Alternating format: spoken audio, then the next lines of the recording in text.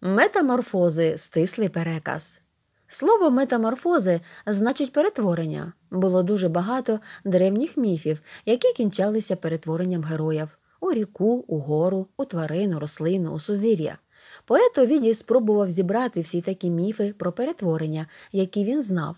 Їх виявилося більше двохсот.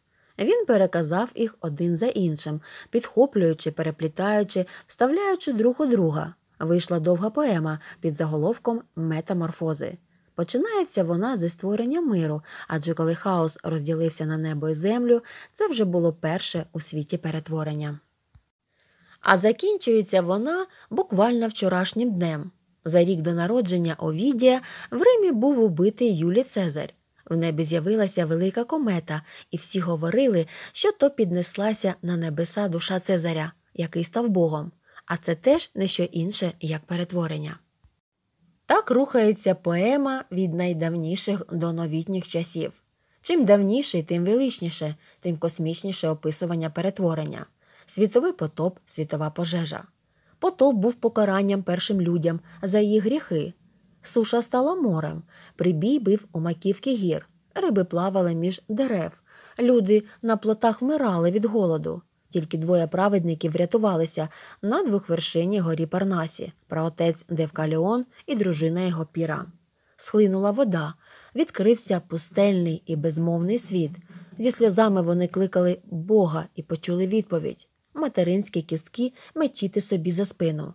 З працею вони зрозуміли спільна мати земля, кістки її камені. Вони стали метати каміння через свої плечі, і за спиною Девкаліона з цих каменів виростали чоловіки, а за спиною пір жінки. Так з'явився на землі новий людський рід. А пожежа була не з волі богів, а за зухвалістю нерозумного підлітка. Юний Фаетон, син сонця, попросив батька Мені не вірять, що я твій син. Дай же мені проскакати по небу в твоїй золотій колісниці. Будь по-твоєму, відповів батько, але обережно.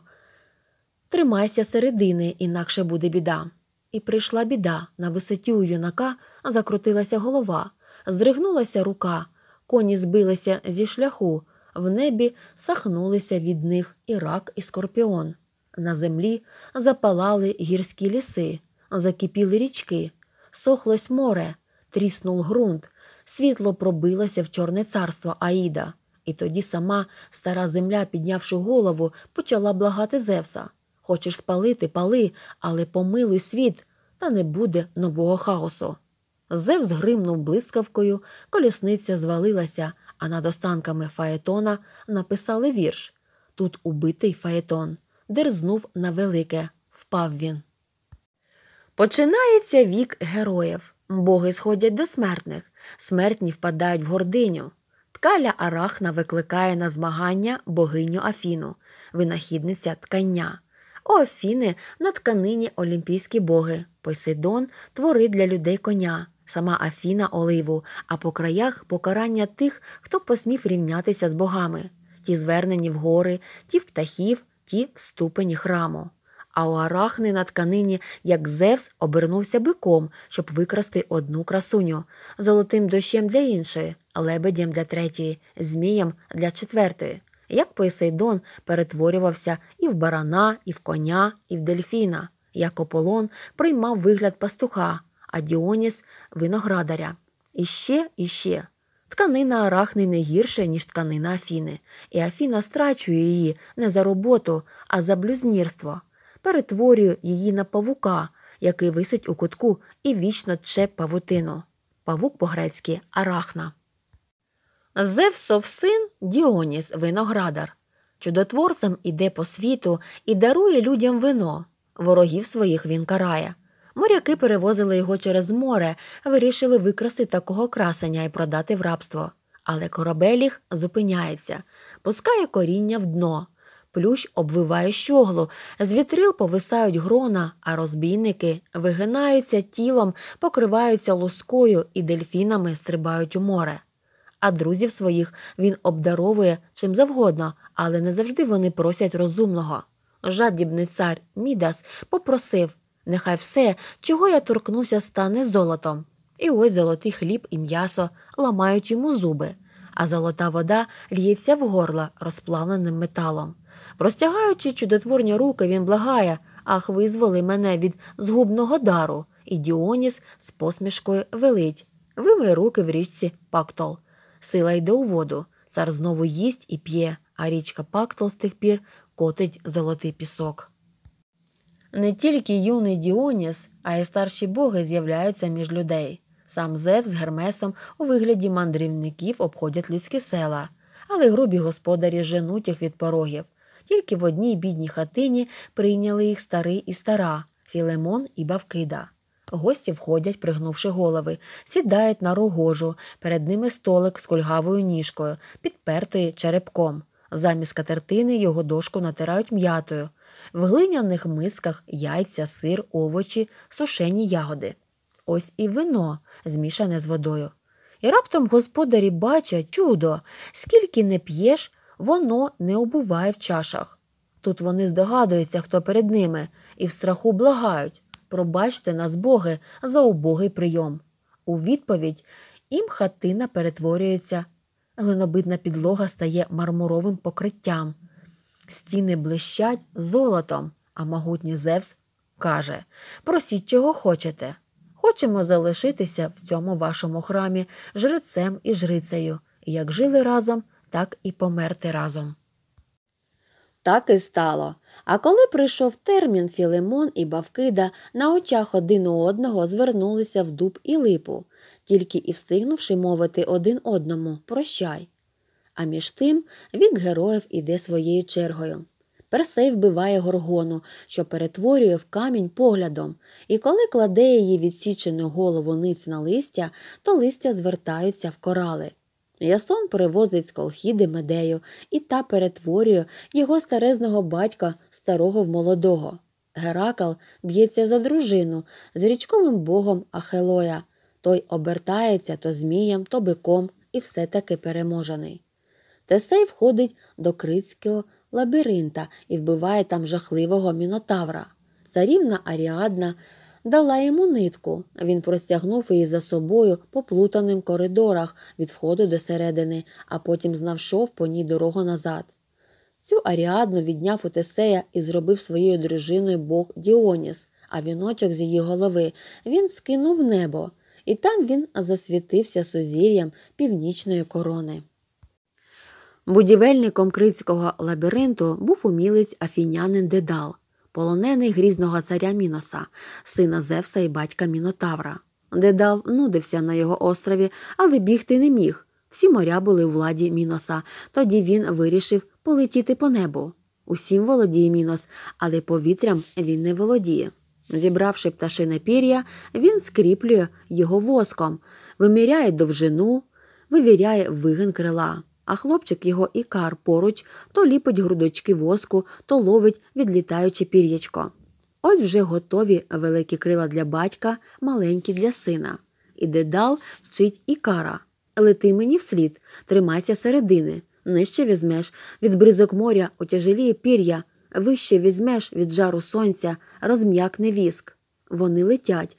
Рибалки на берегах і орачі на ріллі підкидають погляди в небо і завмирають, думаючи, що це вишні боги.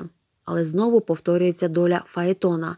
Ікар радісно забирає вгору, та не віск. Розсипається пір'я, голими руками він хапає повітря. І от же море захльостує його губи, що волають до батька. З тих пір це море називається Ікарійським. Як на Криті був умільцем Дедал, так на Кіпрі був умільцем Пігмаліон. Обидва вони були скульптори. Про Дедала говорили, що його статуї вміли ходити. Про Пігмаліона, ніби його статуя ожила і стала йому дружиною. Це була кам'яна дівчина на ім'я Галатея, така прекрасна, що Пігмаліон сам у неї закохався, пестив кам'яне тіло, одягав, прикрашав, нудився і нарешті почав благати до боїв. Дайте мені таку жінку, як моя статуя. І богиня любові Афродіта відгукнулася. Він торкається статуї і відчуває м'якість і тепло. Він цілує її, Галатея розкриває очі, і разом бачать білий світ і обличчя закоханого Пігмаліона. Пігмаліон був щасливий, але нещасні виявилися його нащадки. У нього народився син Кінір, а у Кініра дочка Міра. І ця міра кровозмісною любов'ю закохалася у свого батька.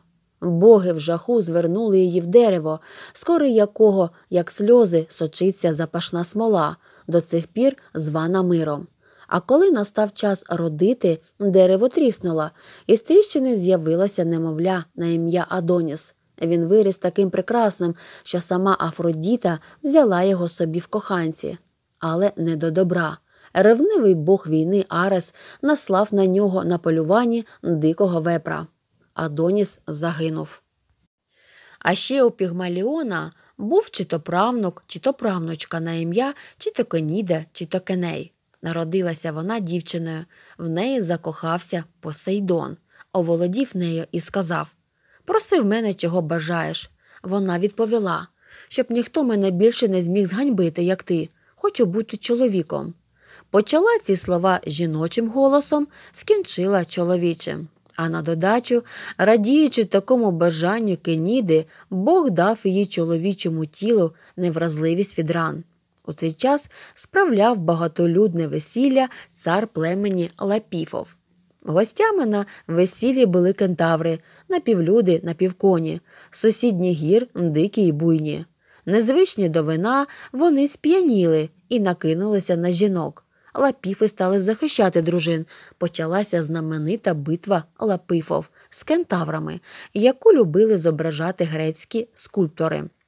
Спершу у весільному палаці, потім під відкритим небом. Спершу метали один в одного чашами, потім вирваними соснами і брилами скель. Тут то і показав себе Кеней. Ніщо його не брало. Камені відскакували від нього, як град від даху, списи і мечі ламалися, як про граніт. Тоді кентаври стали закидати його стовбурами дерев. Нехай рани заміняться вантажем. Ціла гора стовбурів виросла над його тілом і спочатку вагалася, як у землетрусі, а потім затихла. І коли битва скінчилася і стовбури розібрали, то під ними лежала мертва дівчина Кеніда. Поема наближається до кінця. Про битву Лапіфа з кентаврами розповідає вже старий Нестор у грецькому таборі під Троєю. Навіть Троянська війна не обходиться без перетворень. Пал Ахіл, і тіло його винесли з битви двоє. Потужний Аякс ніс його на плечах, спритний Одисей відбивав насідаючих троянців. Від Ахіла залишився знаменитий обладунок, кований Гефестом. Кому він дістанеться? Аякс каже Я перший пішов на війну, я найсильніший після Ахіла, я кращий у відкритому бою. А Одіссей каже зате лише я зібрав греків на війну, лише я залучив самого Ахіла, лише я утримав військо від повернення на десятий рік. Розум важливіше, ніж сила, обладунок мені. Греки присуджують обладунок Одисею. Ображений Аякс кидається на меч, і з крові його виростає квітка гіацинт. Троя впала. Еней пливе з троянськими святинями на захід. На кожній своїй стоянці він чує розповіді про перетворення, пам'ятні в цих далеких краях. Він веде війну за Лацій, нащадки його правлять в Альбі, і виявляється, що навколишня Італія не менш багата оповідями про перетворення, ніж Греція. Ромул засновує Рим і підноситься до небес, сам перетворюється в Бога. Сім століть по тому Юлій Цезарь врятує Рим у громадянських війнах і теж вознесеться. А поки що наступник Ромула, Нума, Помпілій, наймудріший з давніх римських царів, слухає промови Піфагора, наймудрішого з грецьких філософів, і Піфагор пояснює йому і читачам, що ж таке перетворення, про які спліталися розповіді в настільки довгій поемі. Ніщо не вічне, говорить Піфагор, крім однієї лише душі. Вона живе незмінна, змінюючи тілесні оболонки радіючи новим, забуваючи про колишніх. Душа Піфагора жила колись у троянського героя Ефорбе. Він Піфагор це пам'ятає, а люди зазвичай не пам'ятають. З людських тіл душа може перейти і в тіла тварин, і птахів, і знову людей. Тому мудрий не стане харчуватися м'ясною їжею, наче податливий віск, що в нові ліпиться форми. Не перебуває одним, не має єдиного вигляду, але залишається собою, так точно душа, залишаючись якою, так кажу, переходить в різні плоті. А кожне тіло, всяке тіло, всяка речовина мінливе, все тече, змінюються миті, години, дні, пори року, віки, люди. Земля стончується у воду, вода в повітря, повітря у вогонь, і знову вогонь ущільнюється в грозові хмари. Хмари проливаються дощем. Гори були морем, і в них знаходять морські раковини, а море заливало колись сухі рівнини, і стихають річки, і пробиваються нові. Острови відколюються від материка і зростаються з материком. Троя була могутня, а нині в поросі. Рим зараз малий і слабкий, а буде всесильний. У світі нічого не стоїть, але все оновлюється вічно. Ось про ці вічні зміни всього, що ми бачимо в світі, і нагадують нам старовинні розповіді про перетворення метаморфози.